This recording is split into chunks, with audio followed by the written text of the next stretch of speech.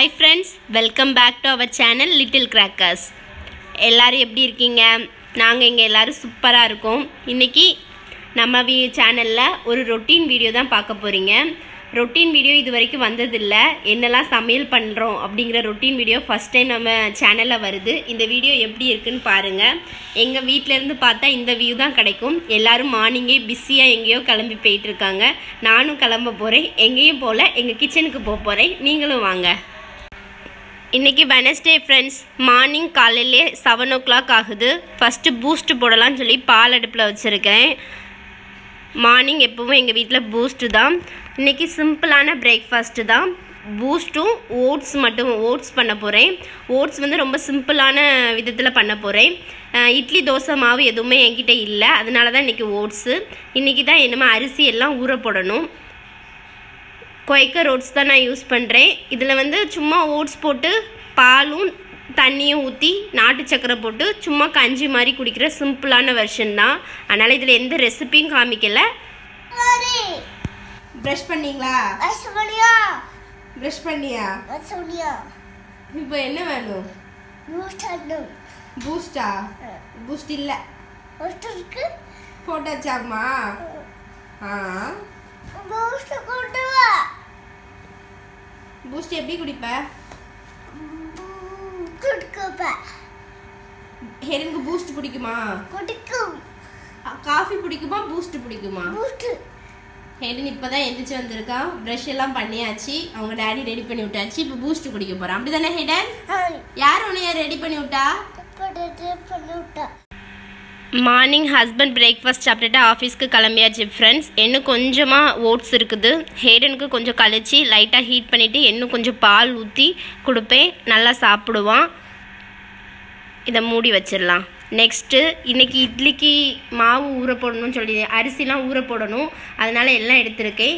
எப்போவும் இட்லி அரைக்கும் போது கூடவே ஏதாவது ஒன்று போடணும். ஒன்று அடை தோசைக்கு அல்லது பச்சை பயிறு தோசை அப்படி ஏதாவது ஒன்று போடுவேன். இன்றைக்கி கொஞ்சமாக ராகி தனியாக ஊற வச்சுக்கிடுதேன்.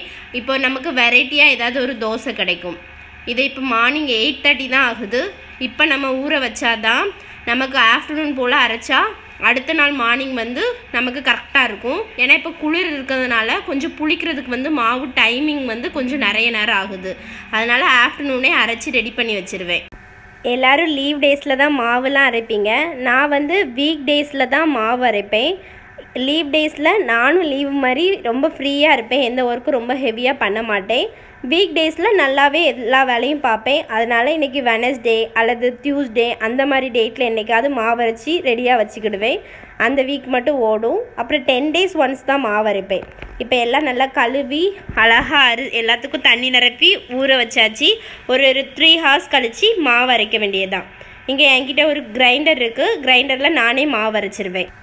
எல்லாத்தையும் மூடி வச்சு க்ளோஸ் பண்ணி ஒன்று மேலே ஒன்று வச்சிருவேன். அப்போ இடத்த அடைக்காது. நம்ம இனிமே லஞ்ச் பண்ணுறதுக்கு கிச்சனில் ஸ்பேஸ் இருக்கும். ஹேடன் சாப்பிட்றான் ஃப்ரெண்ட்ஸ் ஹேடன் ஓரளவு தனியாகவே சாப்பிட்றதுக்கு அவனுக்கு தெரியும். பிரேக்ஃபாஸ்ட்லாம் அவனுக்கு கொடுத்தோன்னா அவனே அழகாக அள்ளி அவனே தனியாக சாப்பிடுவான் எல்லாமே. அவனுக்கு அது ப்ராக்டிஸ் இருக்குது அவனுக்கு ஓட்ஸ் பிடிக்கும். நல்லா பால் போட்டு கொடுக்குறனால பிள்ளைங்களுக்கும் நல்லா ஹெல்த்தி தான். நிறைய பால் சேர்ப்பேன் அவனுக்கு மட்டும் எக்ஸ்ட்ரா பால் போட்டு நல்லா நாட்டு சக்கரை போட்டு கொடுக்குறனால நல்லா டேஸ்டியாக இருக்கும். டேஸ்டியாக இருக்கா? ஃப்ரெண்ட்ஸ் நெக்ஸ்ட்டு வாஷிங் மிஷினில் பெட்ஷீட்லாம் துவைக்கிறதுக்காக போட்டுட்ருக்கேன். இப்போ குளிர் வந்ததில் பெரிய டிஸ்அட்வான்டேஜ் இந்த துணிலாம் காயறதுக்கு டூ டேஸ் ஆகும். அதுவும் பெட்ஷீட்னா இன்னும் டைம் எடுக்குது. அதனால மார்னிங்கே துவைச்சி போட்டு காயறதுக்கு இன்னும் டைம் ஆகுது.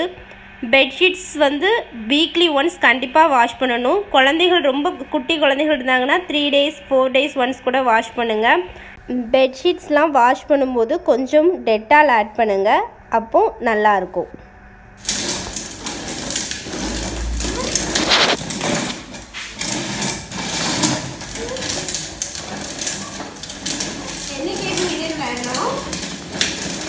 கேம் விளையாடுறீங்க? கார் வச்சு என்ன பண்ணுவீங்க? ட்ரு பண்ணுவீங்களா? ட்ரு பண்ணி காமிங்க. ஹெடன் பைக் எங்க? ஹெடன் பைக் எங்க? இங்கே. கார் பிடிக்குமா பைக் பிடிக்குமா? இதான் ஃப்ரெண்ட்ஸ் எங்களோட விளையாடுற ஏரியா எங்கள் லிஃப்ட்டில் எங்கள் வீட்டிலேருந்து லிஃப்ட் வரைக்கும் உள்ள உள்ள கேப் தான் எங்களோட விளையாடுற இடமே. நானும் ஹெரனும் மார்னிங் ஒரு ஒன் ஹவர் இப்போ எல்லாருமே வேலைக்கு போயிருப்பாங்க அது ஸ்கூலுக்கு போயிருப்பாங்க. மார்னிங் எந்த டிஸ்டர்பன்ஸும் இருக்காது. ஸோ நாங்கள் ரெண்டு பேரும் மட்டும் தனியாக விளையாடுவோம். நான் ஓடவே ஹீரன் அந்த கார் வச்சு என்னை துரத்தி வந்து அட்டாக் பண்ண வருமா? கொஞ்சம் இடம் தான் இருக்குது கீழே சில நேரம் கிளைமேட் சரியாக இருக்காது. ஸோ இவ்வளோ இடம் கிடச்சதே பெருசு.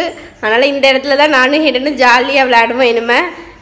மார்னிங் பிரேக்ஃபாஸ்ட்லாம் முடிச்சாச்சு. அதனால இனிமேல் கொஞ்ச நேரம் பிளேயிங் தான். இதுக்கப்புறம் தான் அவனை குளிப்பாட்டுவேன். நல்லா வெளியே விட்டு விளையாட விட்டுட்டு அதுக்கப்புறம் தான் அவனை குளிப்பாட்டி அதுக்கப்புறம் மற்ற வேலையெல்லாம் பார்ப்போம். பாய் பாய்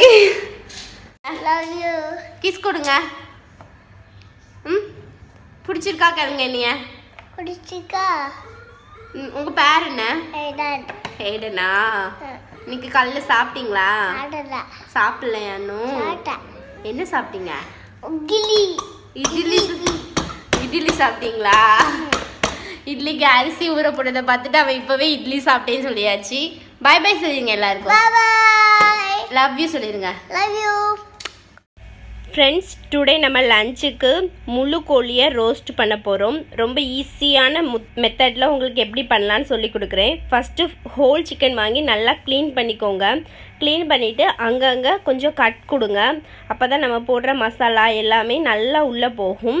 இந்த கட் பண்ண இடத்துலலாம் நான் வந்து கோல் ஹோல் கரம் மசாலா இருக்குல்ல அதில் கிராம்பு ஏலக்காய் அதெல்லாம் அதுக்குள்ளே வந்து வைக்க போகிறேன் இப்போது எதெல்லாம் உள்ளே போகுமோ அதெல்லாம் அந்த ஹோலுக்குள்ளே சொருகிக்கணும். அப்போ வந்து அதோட ஃப்ளேவர் வந்து அந்த சிக்கனுக்குள்ளவும் போகும். பவுட்ராக மட்டும் போடாமல் இப்படி முள்ளு மசாலா வச்சு அதை உள்ளே வைக்கும்போது நம்ம வந்து மசாலா வந்து அந்த அதோட வாசம் அரோமா வந்து உங்களுக்கு உள்ளே போகும்.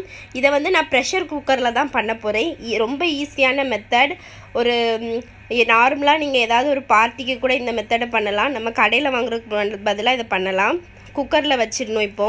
குக்கரில் வச்சுட்டு தேவையான அளவு கொஞ்சமாக தண்ணி ஊற்றினா போதும். மற்ற கரம் மசாலாவையும் உள்ளே போட்டுட்டு தேவையான அளவு உப்பும் மஞ்சள் தூளும் போட்டு இது வந்து சிக்கன் இதுவே நாட்டுக்கோழிக்கும் இதே மெத்தட் தான். நாட்டுக்கோழிக்கு வந்து விசில் அதிகமாகும். இது நார்மல் பிராய்லர் கோழி தான். இதுக்கு வந்து ஒரு விசில் போ போதும். இது வந்து நம்ம ஒரு பத்து நிமிஷம் வெந்நிலையும் போட்டு ஊ வெந்நிலை போட்டு நல்லா கொஞ்சம் கொதிக்க வச்சு கூட எடுக்கலாம். இப்போ நமக்கு விசில் வந்துட்டு விசில் வந்த பின்பு இப்படி தான் நல்லா அவிஞ்சிருக்கும். இந்த தண்ணிக்கு பாரு சிக்கன் ஸ்டாக் இதை வேஸ்ட் பண்ணக்கூடாது. இதுலேயும் நம்ம ரைஸ் பண்ணலாம். இதில் வந்து வச்சு ரைஸ் அவிக்கிறதுக்கு பாரு கப்ஸான்னு சொல்லுவாங்க.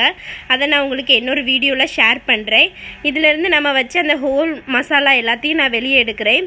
இது கூட என்னமே பவுடர் எல்லாம் போட்டு நல்லா சிக்கனை வந்து மேக்னேட் பண்ண போகிறேன் இது வந்து காஷ்மீர் மிளகாத்தூள் மஞ்சள் தூள் இது சிக்கன் மசாலா கொத்தமல்லி மசாலா உப்பு நல்ல மிளகு இஞ்சி பூண்டு பேஸ்ட்டு கரம் மசாலா. இந்த எல்லா மசாலாவையும் எடுத்து லெமன் ஜூஸ் இந்த எல்லா மசாலா கூடையும் லெமன் ஜூஸ் போட்டு நல்லா மிக்ஸ் பண்ண போகிறோம் தயிர் இதில் நான் சேர்க்கலை. தயிர் வந்து சிக்கனை வந்து சாஃப்ட் ஆக்கும். நம்ம ஆல்ரெடி இதை வந்து அவிச்சதுனால ஆல்ரெடி சிக்கன் சாஃப்டாக தான் இருக்குது. உங்களுக்கு தேவையான அளவு நல்லா மசாலா வந்து மசாலா பதத்துக்கு நம்ம இது பண்ணிக்கணும். ரொம்ப தண்ணியாக கரைக்கக்கூடாது நல்லா கொஞ்சம் பேஸ்ட் மாதிரி நீங்கள் தேவையான அளவு லெமன் ஜூஸ் மட்டும் போட்டு பண்ணுங்கள் அப்போ தான் நல்லா ஃப்ளேவர் உள்ளே இறங்கும். இந்த அளவுக்கு நல்லா பேஸ்ட்டாக எடுத்துக்கோங்க. காஷ்மீர் ரெட் சில்லி சேர்த்துருக்கனால நல்லா கலர்ஃபுல்லாக இருக்குது எதுவும் கலர்ஸ் சேர்க்காமல் காஷ்மீர் ரெட் சில்லி சேருங்க. இதில் வந்து நம்ம சிக்கனை வந்து இதில் நம்ம மசாலாவை சிக்கன் மசாலாவை எடுத்து அந்த மசாலாவை சிக்கனுக்குள்ளே எல்லா இடத்துலையும் அந்த கட் பண்ணி வச்சுருக்க இடத்துல அப்படி எந்த எந்தெந்த இடத்துல நல்லா தடவ முடியுமோ எல்லா இடத்துலையும் நல்லா தடவிக்கிடுறேன். இது ஒரு ஒரு மணி நேரம் ஹாஃப் அன் ஹவர் வந்து நம்ம நல்லா ஊற வச்சுக்கிடணும். அப்போ நல்லா டேஸ்ட்டாக இருக்கும். இந்த சிக்கனை நல்லா மசாலா ஊறினதை அப்படியே ஒரு ஒன் ஹவர் வைங்க. ஒரு பேன் எடுத்து கொஞ்சமாக எண்ணெய் ஊற்றினா போதும். ரொம்ப கொஞ்சமாக எண்ணெய் ஊற்றினா போதும். ஃபுல்லாக டீப் ஃப்ரை பண்ண வேண்டாம். சா ஷாலோ ஃப்ரை மாதிரி பண்ணி எடுத்துக்கலாம் நம்ம. பார்க்கவே ரொம்ப டேஸ்ட்டாக இருக்குது கடையில் வாங்கினா எந்த ஆயிலில் பண்ணுறாங்கன்னு தெரில அதனால் நீங்கள் கண்டிப்பாக வீட்டிலையே பண்ணுங்கள் கிறிஸ்மஸ் வரப்போது எல்லோரும் கிறிஸ்மஸ்க்கு உங்கள் வீட்டில் கண்டிப்பாக பண்ணி பாருங்கள் இப்படி சைட்லலாம் நம்ம வைக்கும்போது எல்லா இடமும் நல்லா பாயில் ஆகும். மேலே நல்லா கிறிஸ்பியாக கிடைக்கும் உங்களுக்கு.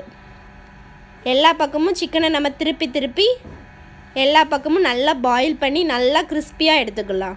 சாப்பிட்றதுக்கும் அன்றைக்கி ரொம்பவே டேஸ்ட்டாக இருந்தது ஃப்ரெண்ட்ஸ் கண்டிப்பாக நீங்களும் ஒன் டைம் ட்ரை பண்ணிவிட்டு எப்படி இருந்ததுன்னு கீழே கமெண்ட்டில் சொல்லுங்கள் கடைசியாக நம்ம இப்போ கொஞ்சம் ஆறுன பின்பு ஃபைனல் டச் கொடுக்கறதுக்காக இப்படி அடுப்பில் காமிக்கிறேன். இதுக்கு பதிலாக வந்து ஃபுல்கா போடுறதுக்குள்ளே சப்பாத்தி ஸ்டாண்ட் இருந்ததுன்னா அதில் வச்சு மேலே வச்சு ஒன் டை ஒரு நிமிஷம் எடுங்க.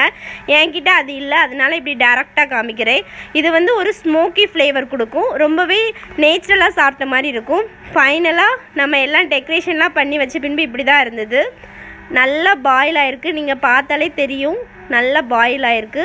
நாங்கள் அன்றைக்கி லஞ்ச் இது தான் சாப்பிட்டோம் ஃப்ரெண்ட்ஸ் லஞ்ச் சமைக்கும் போதே அப்படியே மாவும் அரைக்க போட்டிருந்தேன் ஃப்ரெண்ட்ஸ் இதுதான் என்னோட மார்னிங் டு ஆஃப்டர்நூன் ரொட்டீன் இந்த வீடியோ பிடிச்சிருந்துன்னா மறக்காமல் நம்ம சேனலை சப்ஸ்கிரைப் பண்ணுங்கள் வேறு எந்த மாதிரிலாம் வீடியோ வேணும்னு கீழே கமெண்ட்டில் சொல்லுங்கள் உங்கள் தெரிஞ்சவங்களுக்குலாம் இந்த வீடியோவை ஷேர் பண்ணுங்கள் உங்களை இன்னொரு இன்ட்ரெஸ்டிங்கான வீடியோவில் பார்க்குறேன் ஃப்ரெண்ட்ஸ் பாய் பாய்